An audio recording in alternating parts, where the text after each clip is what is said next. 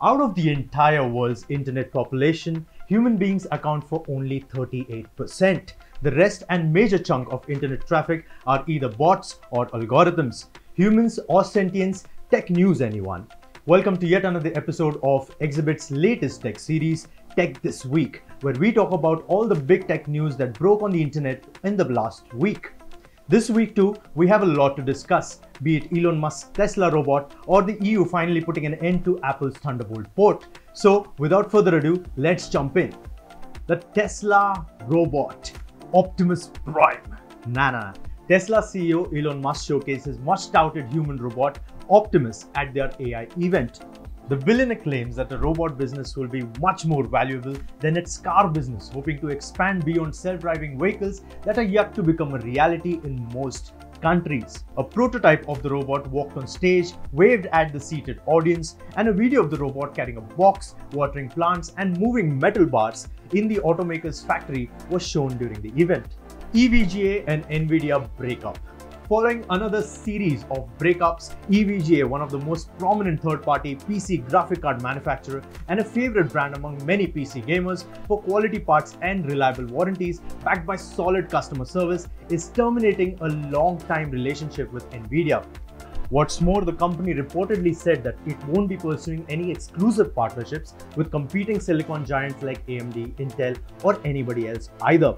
What else is EVGA cooking, huh? NVIDIA RTX 4000 series launched. Now, NVIDIA has announced its newer generation of graphic cards, the RTX 4000 series, including a kidney worth 1.55 lakh rupee flagship RTX 4090 and a slightly more affordable 4080. In addition to increasing the number of cores, processors, shaders, and requisite jump in performance seen in today's games, NVIDIA is pushing its new Ada Lovelace architecture. This architecture has special processes that improves image quality like ray tracing for light and deep learning super sampling, a complicated frame generation technique that increases frame rates and visual fidelity. NVIDIA promises that the flagship RTX 4090 can outperform two times as much as its predecessor and the 4080 will be almost three times as faster than its predecessor. They've also introduced DLSS 3, bringing major improvements to ray tracing and almost twice as many gains with the newer software algorithms. Intel enters the GPU race. Anyone building a PC in the near future knows how expensive it is. 4K is mainstream in televisions, yet 1440p is the standard for most monitor choices. Not everyone needs 4K gaming prowess, as some are very happy with 1080p or 1440p gaming. That's where Intel steps in with the newest graphic card launches. After a long delayed launch, Intel announced that the flagship Arc A770 desktop GPU will arrive in October 12th for an MSRP of $329.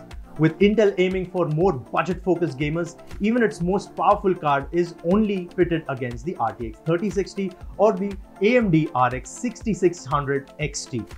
If you don't know, CD Projekt Red is the maker of popular gaming franchises like the Witcher series and the Cyberpunk 2077 series. As a part of its strategic presentation, CD Projekt Red has announced that it will have multiple new games in development. Although details are slim, the company did announce that a sequel of 2020's super hit Cyberpunk 2077 is in development under the codename Project Orion and will prove the full power and potential of the Cyberpunk universe when it is released. Additionally, a number of new games set in the Witcher universe are also in various stages of development. These are all being developed under various code names as well and include the Project Sirius, Project Polaris, Project Canis Majoris. Beyond its two well-known franchises, CD Projekt Red is also working on a new standalone IP codenamed Project Hadar.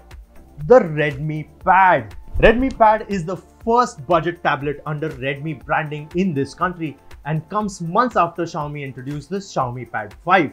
The Redmi Pad comes with large 10.61 inch display with relatively narrow bezels around the screen and a single camera sensor on the rear.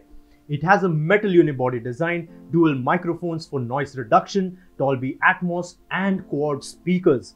Customers purchasing the Redmi Pad will also get 2 months of free YouTube Premium subscription.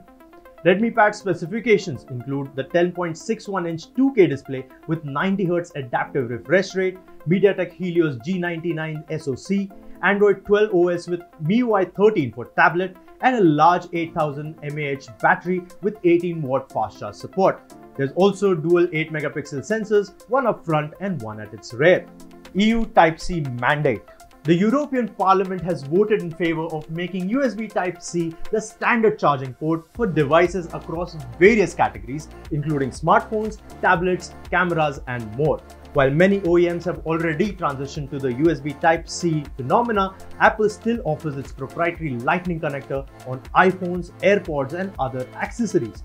In a press release, the European Parliament states that all mobile phones, tablets, and cameras sold in EU will have to be equipped with USB Type-C charging port by the end of the year 2024. The new requirements also extend to cover laptops by spring 2026. This puts Apple in a tough spot and is yet to be seen if the company abides by the law or removes the charging port altogether to switch to completely wireless charging. Google Pixel 7, Pixel 7 Pro and other devices launched. After a long wait, Google has finally announced the Google Pixel 7 and 7 Pro devices in India. The company had skipped the previous generations of flagship devices for India, and it's only about time that they show up in the Indian market. With Google's flagship features, the Pixel 7 and the Pixel 7 Pro are all set to make a splash. Stay tuned for Exhibit's review on the latest Google Pixel 7 devices. Fitbit by Google launched three new wearables, and Google brings the best of Samsung and Fitbit partnership in their newest product, the Pixel Watch.